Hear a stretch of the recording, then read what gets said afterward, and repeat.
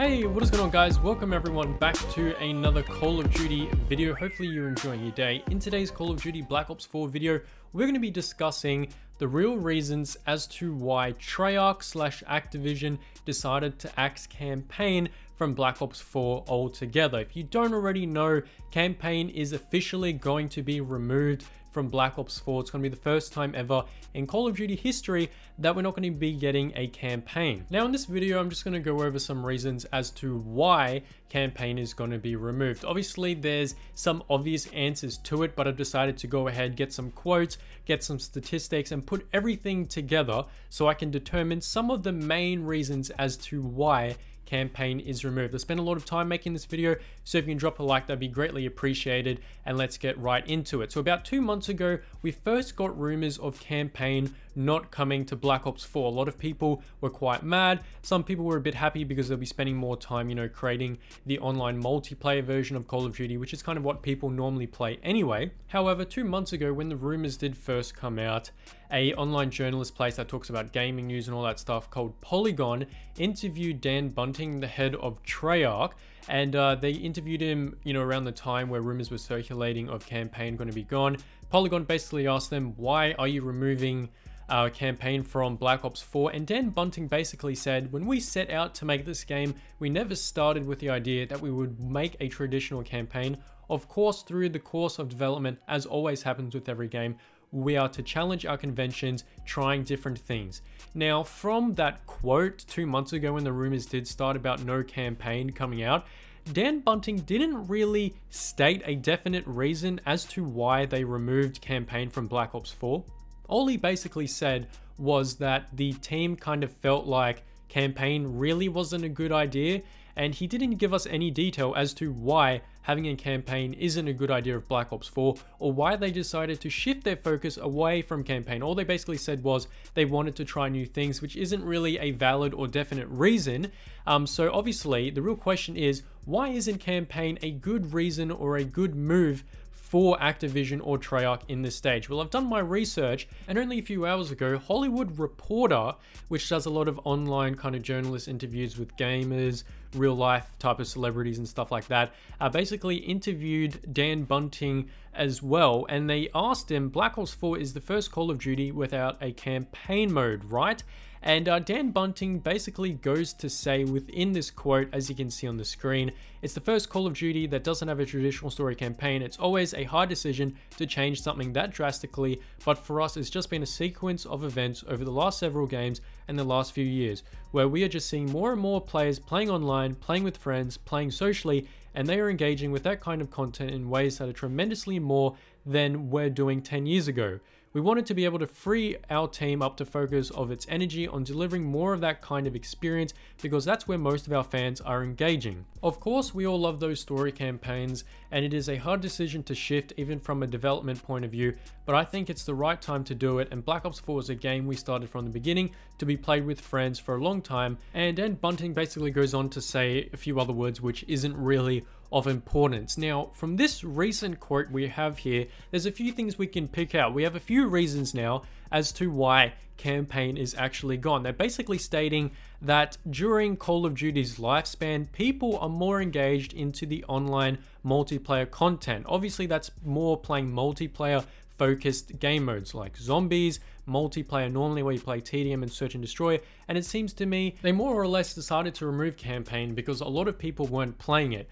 Now, during this quote of Dan Bunting, as I said, he did give us a reason as to why it's gone. Basically, a lot of people aren't playing single player. Now, he didn't tell us in this quote how many people are actually playing Call of Duty campaigns or how many people are still playing Call of Duty campaigns. However, I did come across a graph, so I did a bit more research. I came across a graph from Extreme Tech. So it's kind of another website that talks about graphs, gaming news, and all that type of stuff. And in this graph, it tells us how many people have actually played a Call of Duty campaign starting all the way from Call of Duty 2. So as you can see with the graph on the screen right now, this graph is showing us how many people are playing the Call of Duty campaign. So in Call of Duty 2, uh, you can see that it's 12%, Call of Duty 3, it's about 35%. Modern Warfare is 25%. So it's starting to go down a little bit. World at War is 15%, so that's a massive drop. Modern Warfare 2 is now back up at 25%. Black Ops 1 is 23%, Modern Warfare 3 at 31%, Black Ops 2 at 28%, Ghost at 25%, Advanced Warfare at 30%, and Black Ops 3. Now this is where things are a little bit different. As you can see, all the graphs so far are at least around the 15% to 30% range. So at least 15 to 30% of people are playing a Call of Duty campaign from all the way from Call of Duty 2 all the way to Advanced Warfare. Now things are a bit different for Black Ops 3 because instead of the normal 15 to 25% of Call of Duty players playing the campaign, it's dropped down all the way to 5% for Black Ops 3, which is definitely a crazy number um, because that's just showing you that a lot of people really have not played campaign for that game at all um, because in Call of Duty 2, people played that campaign more than Black Ops 3. And then in Infinite Warfare, it went to 15%. And interestingly, with Call of Duty World War 2, it is actually up to about 29% as well. So obviously, as you can see, um, I did mark the Black Ops 3 with an arrow because the game is the least played in terms of Call of Duty campaigns. And uh, obviously from that statistic, we already know that campaigns cost a lot of money to make and they spent around three years developing Black Ops 3. So I don't know how many months and how many years out of the three years it took them to create campaign. But given that they had to implement co-op campaign and they had to use voice actors, they had to develop a story, they had to develop a ton of things and get a massive studio together, it would have cost them a lot of money and a lot of time to create the campaign. And all they really got was 5% of people uh, playing their campaign in Black Ops 3. So basically, another reason as to why the campaign in Black Ops 4 is going to be removed is that a lot of people didn't really play it in Black Ops 3 and obviously as I said they spent a lot of money, spent a lot of time making it for Black Ops 3 and if a lot of people didn't play it in Black Ops 3, why would people play it in Black Ops 4? Obviously if they made their campaign better it could be the case, but judging that it was such a low number, that's probably another reason why Black Ops 4 um, decided to get the axe on campaign. So moving over to the last part in today's video, we're going to be talking about the last main reason as to why the campaign is gone from Black Ops 4, and that is going to be Battle Royale. So if you think about it, getting rid of single player allows their whole single player team to work on Blackout, which of course is the Battle Royale game mode for Black Ops 4. Now, because their whole single player team is now freed up and they can work on the Blackout game mode, it can allow them to possibly create the biggest and best Battle Royale game mode that we've ever seen. Of course, I don't know if it's the biggest or the best, but uh, judging that they've spent like probably like three or two years of development of this game, um, with a whole single player team working on it, I suppose that it would be pretty good given that. Now, also what it allows um, Activision and Treyarch to do is, unlike campaign, they have the ability to make money off Blackout. So if you think about single player, they can't really, you know, like put supply drops, put COD points, no one's really going to buy any emotes, or camos or character customizations in there because it's campaign, who really cares? So in Battle Royale, people do care because it's an online experience where you verse people, you show off your different skins and stuff. So obviously from Blackout, they can make money by selling new maps for Call of Duty Blackout game mode. Um, obviously through Black Ops 4 at the moment, you can only buy maps not separately. So you can't buy it separately, which is kind of stupid, but you can only buy it through a season pass, so they make money from that.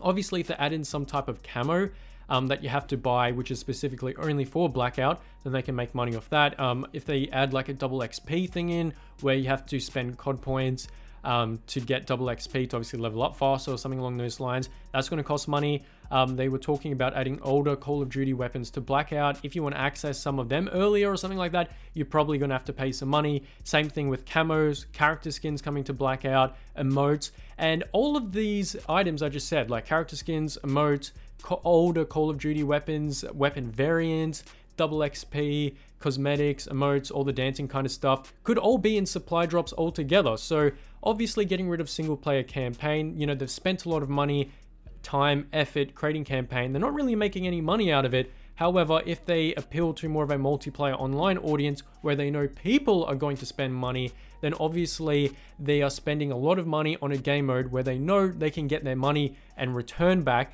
And I believe that is possibly one of the main reasons as to why single player has gotten removed. They're not really making money from single player because they can't sell items, and obviously they spend a lot of money uh, developing single player where pretty much everyone in Black Ops 3 didn't play it at all because it only had a 5% win rate. And obviously, introducing Battle Royale, people are going to play it, people are going to spend money because I know for a fact they will add some kind of um, incentivization items like supply drops and stuff into the game. And overall, those are the main reasons as to why campaign is removed from Black Ops 4. Number one, a lot of people aren't playing campaign. Number two, more people are playing online, so they're going to try and create a new game mode where obviously people are going to spend money and play most of their time. And thirdly, having a blackout game mode just more or less makes sense in terms of if you're a shareholder in Activision or if you're like one of the company directors where you're trying to maximize profit, having a blackout game mode is a great way to create money because you can put supply drops, create a game mode where people care about cameras and all that type of stuff. And obviously, people are actually going to play the game mode instead of single player like in Black Ops 3, where no one was really playing it. So, nonetheless, guys, Hopefully you did enjoy today's video. If you want more videos where I talk about real reasons as to why certain things happen in Call of Duty, just like this video, let me know down below in the comment section. Hopefully you did enjoy. Let me know down below in the comment section as well. What do you think of single player being removed? I personally think they should keep it because there's a lot of people who buy uh, the Call of Duty or the new Call of Duty each year just for campaign and I think those people should definitely be rewarded because, you know, they do buy Call of Duty each year for that experience. But nonetheless, hopefully you did enjoy today's video, and I will catch you all later. Globe out.